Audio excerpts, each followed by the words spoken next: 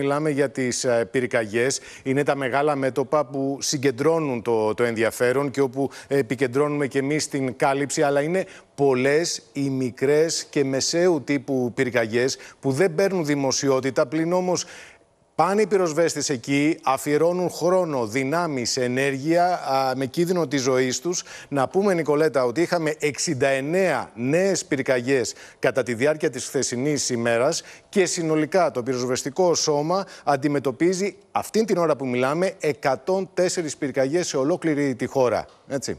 Είναι απίστευτο. Είναι πάρα πολλά τα μέτωπα, τα μικρά μέτωπα, τα οποία εν συνεχεία, κυρίες και κύριοι, λόγω των ισχυρών ανέμων αναδεικνύονται σε ε, με μεγάλο πρόβλημα για την πυροσβεστική, η οποία σπέβδει το πρώτο λεπτό. Εκεί είναι, βλέπουμε τα ενεργά μέτωπα στην παρούσα φάση. ποια είναι.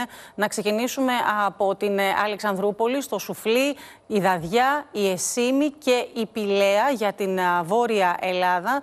Εν συνεχεία έχουμε στη Ροδόπη το Μίσχο και ενεργό μέτωπο ακόμη στις σάπες της Ροδόπης.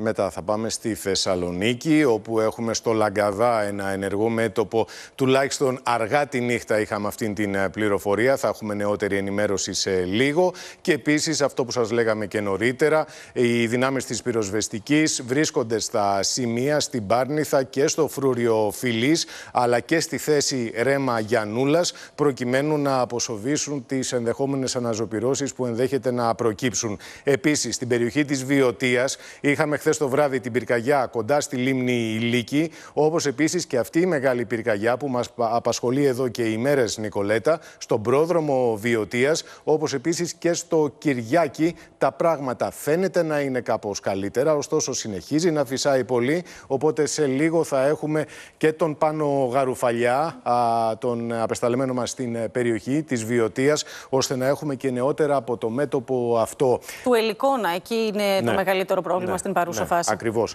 Τώρα, α, πάμε να δούμε και ένα χάρτη, κυρίες και κύριοι, που έχει το ενδιαφέρον του, διότι μιλάμε για τις μέγα πυρκαγιές δεν είναι κάτι ελληνικό, είναι κάτι παγκόσμιο. Το λέγαμε και τις προηγούμενες ημέρες. Ο Καναδάς έχει χάσει φέτος α, δασική έκταση α, όσο, όσα δεν είχαν καεί σε 20 χρόνια, κάηκαν σε μία χρονιά. Έχουμε εδώ και την αποτύπωση, έτσι, τα στοιχεία από τον ε, δορυφορικό σύστημα Κοπέρνικου, το σύστημα Flame, έτσι όπως τα επεξεργάστηκε το meteo.gr και βλέπετε τώρα από το 2002 και μετά το ιστορικό των μεγάλων πυρκαγιών στη χώρα μας.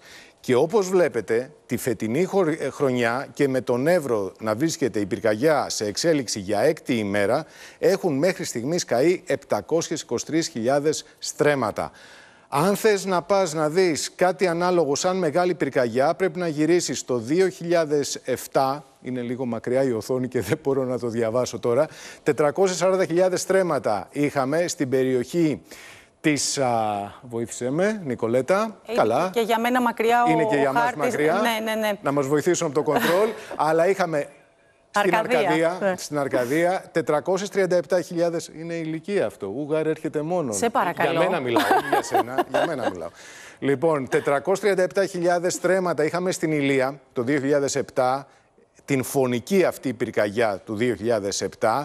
Αυτά είναι στοιχεία πυρκαγιές με πάνω από 400.000 ε, στρέμματα. Και μετά βλέπετε κατά καιρούς αναπεριόδους ε, τις μέγα πυρκαγιές εδώ στη χώρα και βεβαίως να ξεχωρίζει η Ηλία το 2007 όπως και η Αρκαδία αλλά και άλλες περιοχές της χώρας. Όμως καταγράφεται ο Εύρος ως το απόλυτο ρεκόρ, το τραγικό θλιβερό ρεκόρ των τελευταίων ετών, της τελευταίας 20 ετίας και είναι ένα ισχυρό δείγμα ότι τα πράγματα αλλάζουν. Και όχι μόνο στην Ελλάδα, αν μου επιτρέπεις, στο μέτωπο της Αλεξανδρούπολης, σε Νίκο, είναι η μεγαλύτερη καταστροφή που έχει καταγραφεί ποτέ σε ευρωπαϊκό έδαφος σύμφωνα με την ε, δορυφορική αποτύπωση από τον ε, Κοπέρνικους. Ναι, βλέπουμε εδώ και την συνολική έκταση α, και αυτά καταγράφονται από το, από το δορυφορικό σύστημα έτσι ώστε να υπάρχει στη συνέχεια και η αναγκαία χαρτογράφηση για να μην υπάρχουν και ζητήματα όπως τα ξέρουμε δυστυχώς στη χώρα μας τα προηγούμενα χρόνια